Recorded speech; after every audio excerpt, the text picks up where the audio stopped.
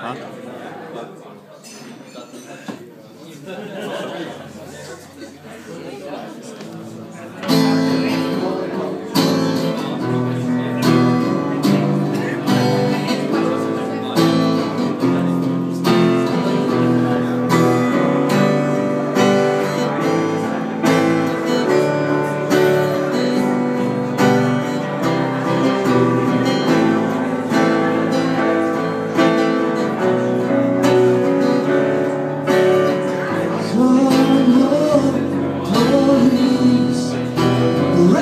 This mountain talks with man